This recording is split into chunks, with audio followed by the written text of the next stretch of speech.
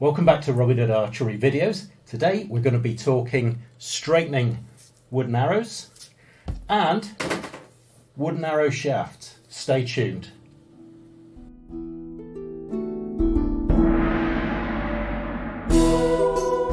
Okay folks, if you shoot woodies or are thinking of shooting woodies, um, there's one thing you should know they can bend very easily and they tend to stay bent once they are bent. Um, just pulling them out of a target can actually put a bow in them, um, and obviously it's going to affect the way you shoot. So, I'm going to talk a little bit today about how you can straighten out these bends in your shaft or in your arrow itself. Um, it's more of an introduction to it, but it will give you a good idea. There's, there's, um, you get a lot of learning done by doing. So let's get into it and we'll show you first of all what equipment I've got. Um, I'm going to be using the Robin Hood Archery spinner, including the telltale piece. I'm going to be using the Robin Hood Archery roller, um, and I need a pencil and some tape. That's pretty much everything you need to get started. So let's look at arrows first of all. What I do is I get some tape and I apply it more or less in the middle of the arrow, in the centre point between the each end. I put a bit of tape.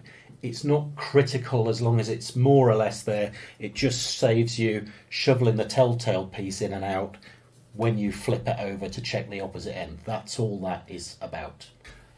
Okay, so we set our arrow up with the tape over the centre line of the roller. We've got a telltale piece onto the actual point of the arrow. What we do now is we just roll the arrow and you will see if there's a bend in it, you will see the point doing concentric circles. Okay? So what you do is you find the lowest point, which is about there, and then with a pencil you just mark on the same end of the tape as the point where the high point is. Obviously if the low point is at the telltale then the high point is in the middle of the arrow. Flip the arrow around and now you can see why the tape's in the middle. So there's not a lot of shoveling the um, telltale about and you do exactly the same on the other side. If you're very lucky, you will find that the two marks, let's see if this is going to,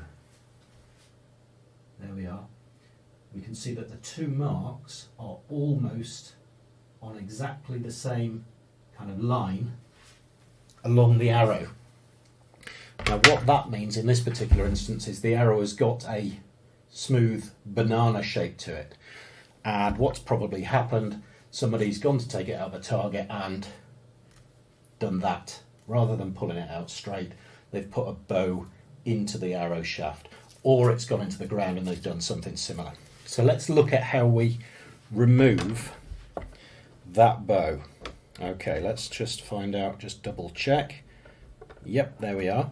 So with those marks on the tape at the top what we do is we get our roller we gently roller along the shaft. Now what we're doing is we're actually bending the shaft the opposite way to the way that the bend is in it, if that makes sense. Okay, so you're gently rolling. It's not the whole length, but most of it. Obviously with arrows you've got the fletching to consider. So you roller it, you put it back on the checker, on the spinner and against the telltale and if you're really good you can get it first time.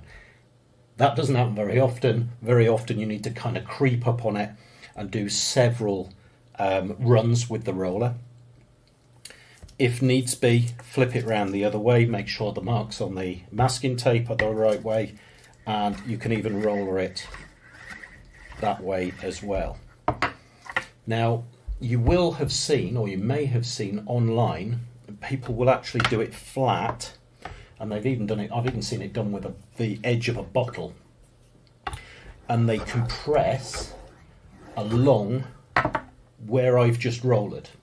And the idea with that is if you can press along here, it will bring the arrow back straight. And it does work. Um, in my experience, though, they don't stay straight as long as doing it my way. The difference being by actually bending it back on itself with the point on the desk or the workbench and actually bending it into the curve that you're trying to get rid of, you're not only compressing the fibres along the top, but you're also stretching the fibres along the bottom. So rather than doing all the work on one side of the wood, you're evening it out, kind of 50% compression and 50% expansion. So you just roll it to your heart's content, keep checking until you get to a point where you're happy that that point is rollering, as it were, nice and smoothly, nice and straightly, in line with the rest of the arrow. Okay? A little word on woods. What you will probably find is that certain woods may be slightly easier to correct than other woods. Um, it will come down to the individual bit of wood you've got and also the type of wood uh, be it spruce or pine or cedar or whatever else it is you might be using. Um, and that's another reason why I say creep up on it. Don't go really mad on it straight away. Just get a feel for the springiness of the wood. If the first time you roller it, it doesn't have any effect on that curvature that you're trying to get out whatsoever, then obviously a little bit more pressure, get a little bit more reverse bend in it, and creep up, up in, creep up on it in that way. Um, and this will safeguard either going too far and put in a bend in the opposite direction, or in the worst case scenario, completely snapping the arrow. Okay, for arrow shafts, in some ways it's even easier, in others it couldn't have complications. Well, why is that? Well, it's easier in a way because you've got no nock to worry about, no point to worry about, no fletching. It is just a bare shaft. Um, but the principle is the same. I put a little bit of tape halfway along and you can check it against the tail, tail on one side, put a little mark, spin it over, spin it up again, find the low point at the telltale, put a little mark on your uh, masking tape, and then you can see in which direction the curve goes and roller it out. Okay, so that's fairly simple if it's a continuous curve. What can happen with bare shafts, can also happen with arrows, but more than likely with bare shafts, you can end up with a curve that way on one side and a curve that way on the other. Or what, when it gets really tricky, say a downward curve here and a curve out to the left or to the right on the other side. But you will see that when you spin it up on the roller and look at the marks on your masking tape. Okay, so that's it in a nutshell. You can obviously localize any bends by moving the shaft up or down the spinner and checking local, you know, towards the left hand side of the shaft or spinning it around and bringing it right in, bring it, I'm not sure if you can actually see that there. So you've got a, quite a short distance between the end of the spinner and the telltale and you can do the same thing there. That's when it starts to get a little bit trickier. It's not a difficult task. It's well within the means of the vast majority of people. As long as you're sensible about it, ease your way into it, a few test rolls first of all, and you can actually get really, really good results. Right, we're just about to wrap up for today. It's quite a short video. I hope I've explained things correctly. It's quite a simple process, but if I've missed the mark or you haven't understood anything, please let me know in the comments section below.